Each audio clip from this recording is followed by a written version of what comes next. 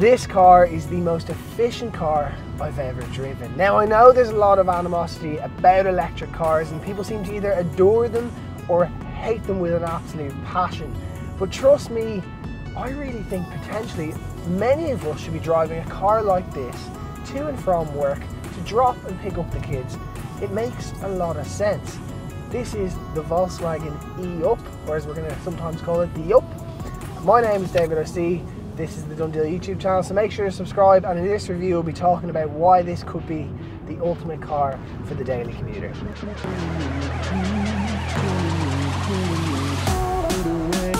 So hear me out here, the E-Up explanation mark.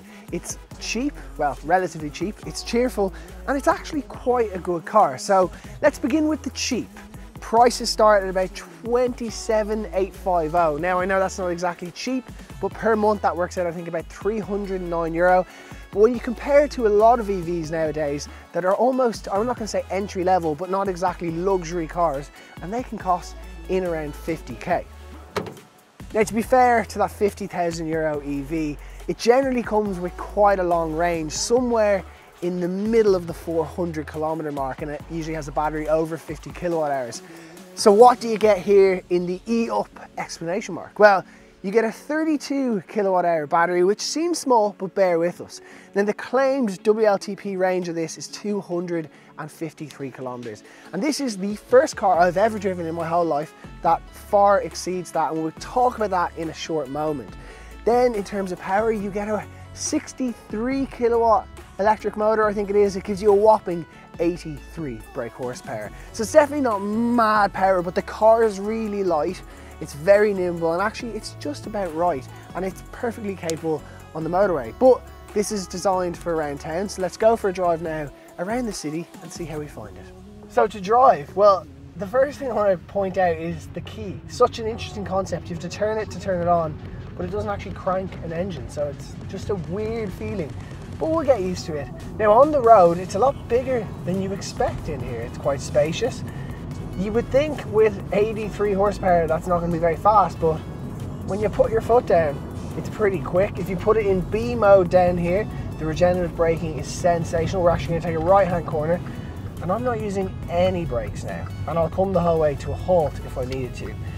On top of that, the turning circle is fabulous. You can get in and around tight little parking spots it's so easy to use. This little reversing camera actually helps a little bit, especially with the parking sensors. Makes life so much easier. If you do take it out on the open road, there's lane assist, there's cruise control. It really does tick a whole lot of boxes. Obviously this car is designed to be driven around an urban environment in a city at slow speeds. It's extremely quiet and at that, the suspension's well dampened. It doesn't feel very stiff. I'm about to hit a pothole here and you'll see it just kind of absorbs it nicely. And I can imagine if you had two or three people in the car, it would be even more smooth as the suspension has got a little bit more weight on it.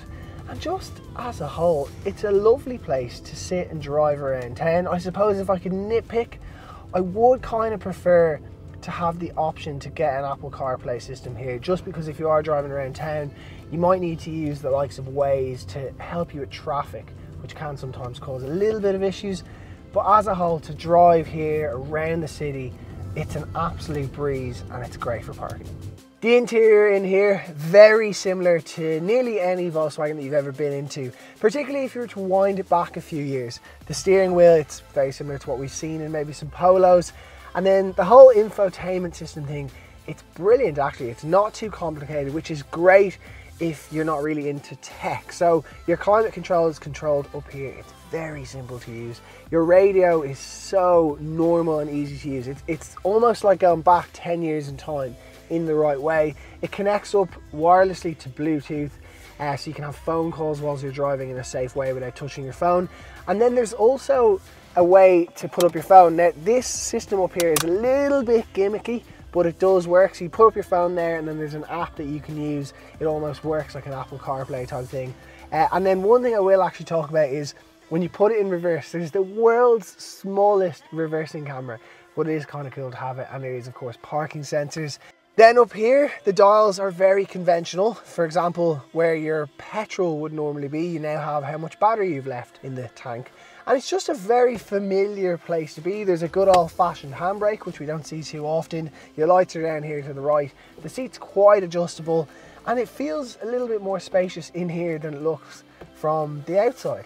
We'll take a look in at the rear though, because that's a little bit different. So things in here, they're not exactly huge, but do you know what? They're a little bit better than you expect. So when you sit in, I actually have enough headroom and an okay amount of knee room. I wouldn't want to go on a six hour drive, but it's okay. There's a little cup holder here.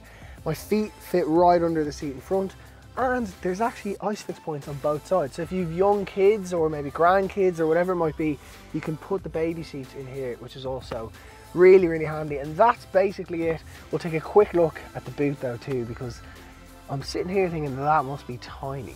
To open up the boot, you just press in that button and up she comes and you're greeted with 251 litres, which isn't obviously massive, but it's enough for a bit of charging cables, some shopping, maybe some school bags, and actually we had a lot of camera bags in here earlier. it was absolutely perfect. Now it is quite raw, there's no kind of carpets covering the rear wheel arches.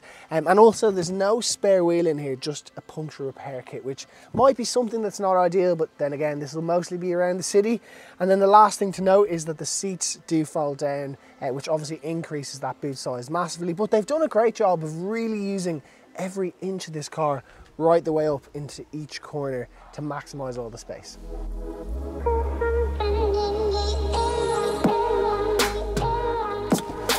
Now a big question with EVs is how fast can they charge? Can I get a quick charge? How long does it take? Now the good thing is because it's a small battery, it doesn't take that long to charge. Now that said, the original e-up didn't have the capability for fast charging, whereas they've added it now. So if you go to CCS or a DC charger, you can get the quick charge. But in my opinion, you don't need it. To begin with, this is the type of car that you really want to just charge up at home and then go about your daily commute. It's obviously more efficient, particularly if you use the night rate, but also it just kind of doesn't really need to be using the public infrastructure on the motorways, but it's good to know that you can. And actually, these ESB chargers are more than perfect. I've been using it all week, park it, leave it for an hour or two, come back and it's fully charged. Now I know you might not have the time for that, uh, but that is kind of one of the things you have to bear in mind with all EVs. At the very beginning of this review, I mentioned that this is quite possibly the most efficient car I've ever driven. Now this is for a few reasons. To begin with, it's not an out and out electric car, which means that Volkswagen didn't have to go and design an entire new platform, which takes a lot of resources and obviously isn't ideal for the environment, building new molds, infrastructure, factories. They've just put an electric motor in an already existing petrol car. Number one, that's very efficient. Number two, is that on top of that, the battery is quite small, which means, again, smaller carbon footprint from that side of things. And then the third one is just how efficient it is to drive. I've never driven an electric car that when it comes to consumption is under or is single digit kilowatt hours per 100 kilometers. Yesterday I drove this to Meath and back, motorway mileage, and I was 9.8 kilowatt hours per 100 kilometers. That is unheard of. And I've actually seen it on an in-town spin being around five or six kilowatt hours per 100 kilometers. This is another level of efficiency. And that brings me into the battery. Now granted, it's been a glorious week whilst I've had this car. The sun has been shining. It's about maybe 15, 16 degrees Celsius. But the range on this, the real world range I've been experiencing is genuinely in the 310, 315 kilometer range, which is staggeringly good. And I've been on the motorway, I've been around town. That's a mixed amount of driving. So for that reason, I reward this, or I award this, the most efficient and economical car I've ever driven. And I think it's excellent for that. It's full of character, it's nice and small, it's a bit perky, and I've really enjoyed it. So hopefully you've enjoyed this review. If you have, please make sure to subscribe. If you'd like to search for Volkswagen Ups or E-Ups for sale or any Volkswagen for that matter, hit the link up there. We've got over 1,000 trusted dealerships nationwide. That's all from me. We'll see you in the next one.